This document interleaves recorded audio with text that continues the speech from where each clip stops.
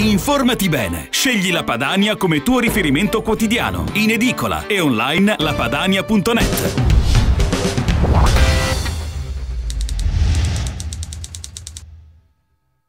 Dal primo di gennaio sono scattati gli aumenti ai pedaggi autostradali, una media nazionale del 3,9%. Peccato però, Ministro, che gli aumenti sono ricaduti soprattutto sulle autostrade del nord con danno per i pendolari, per i lavoratori e per le famiglie. Alcuni esempi, la 9, la Milano-Como più 11,5%, tre volte la media nazionale. Aumenti sulla 8 sulla Milano-Varese, aumenti sulla 4, aumenti sulla tangenziale di Milano, aumenti sul passaggio di Mestre, aumenti al nord ma non al sud. Al sud, salvo casi eccezionali, gli aumenti sono dello 0% per un motivo molto semplice, che al sud non ci sono i pedaggi. C'è addirittura la beffa, la beffa di dire che è la crisi che ha generato una diminuzione del traffico e quindi giustifica un aumento delle tariffe per gli utenti. È inaudito che alla fine pagano sempre i soliti, gli utenti, eh, gli utenti del nord, in particolare qua siamo a Varese, ma come in tutto il nord, mentre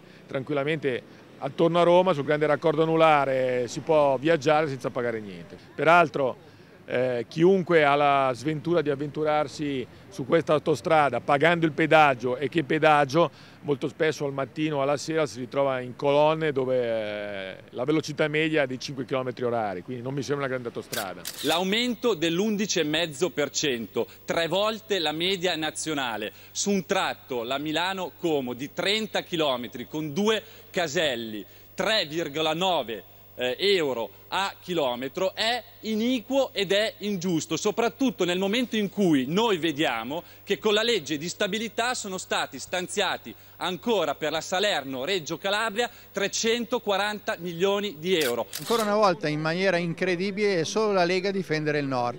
Quello che mi lascia veramente allibito è che qui in piazza ci siamo noi a difendere l'interesse di tutti i cittadini, anche di chi non vota Lega, perché noi rispettiamo chi paga le tasse, rispettiamo chi lavora quotidianamente ed è veramente incredibile che chi passa in autostrada per andare da Milano a Como piuttosto che venire a Varese deve pagare l'11% in più dall'inizio dell'anno, mentre chi fa la Salerno-Leggio Calabria da sempre e anche questa volta continuerà a non pagare nulla con un'autostrada che invece abbiamo costruito noi con i nostri soldi. Questo rappresenta l'ennesima forma discriminatoria, vessatoria e di razzismo di Stato nei confronti del Nord, nei confronti dei pendolari del Nord, nei confronti dei lavoratori del Nord. Ministro, il Nord non può pagare per tutti, il Nord paga e al sud si viaggia gratis. È un'ingiustizia che non tolleriamo più.